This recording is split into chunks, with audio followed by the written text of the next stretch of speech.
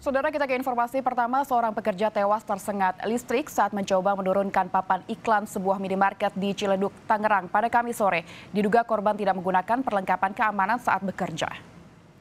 Sesaat setelah tersengat listrik, pekerja terjatuh dari ketinggian 5 meter. Menurut warga sekitar, minimarket ini sudah tutup dan dalam sedang proses pindahan. Diduga ketika pekerja sedang menurunkan papan iklan nama minimarket, aliran listrik belum dimatikan. Kecelakaan ini diduga akibat kelalaian pekerja.